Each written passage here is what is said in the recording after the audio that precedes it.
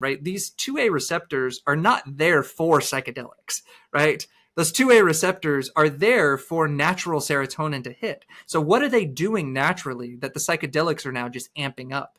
And something that really sticks out to me is that we have to go through our daily lives in a, a flexible pattern of being rigid with some things, but then being open to new experiences to be able to learn, right?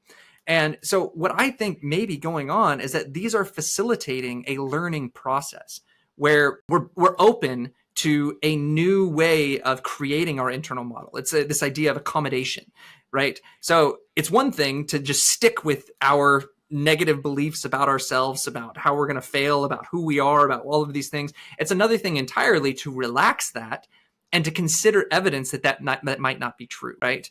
And that in itself, right? Think about why that would be producing neuroplasticity.